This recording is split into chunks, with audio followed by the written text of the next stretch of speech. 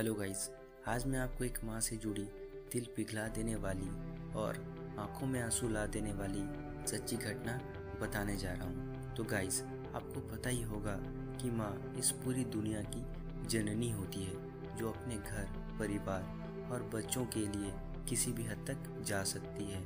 आज मैं आपको एक ऐसी ही माँ के बारे में बताने जा रहा हूँ, जिन्होंने अपने तीन बच्चों को खाना खिलाने के लिए अपने सर के बाल बेच दिए थे। जी हाँ मैं बात कर रहा हूँ तमिलनाडु के सिलम ज़िले की। इकतीस साल की प्रेमा सेल्वम अपने सिर के बाल को डेढ़ सौ रुपये में बेच दिए थे, जिससे अपने बच्चों को खाना खिला सके। ऐसे माँ को सत सत नमन और तहे दिल से सलाम। अगर यह वीडियो आपको पसंद आया तो इस वीडियो को ज़रूर शेयर करें, जिससे देश के हर व्यक्ति को इन जैसी माँ के बारे में पता चले।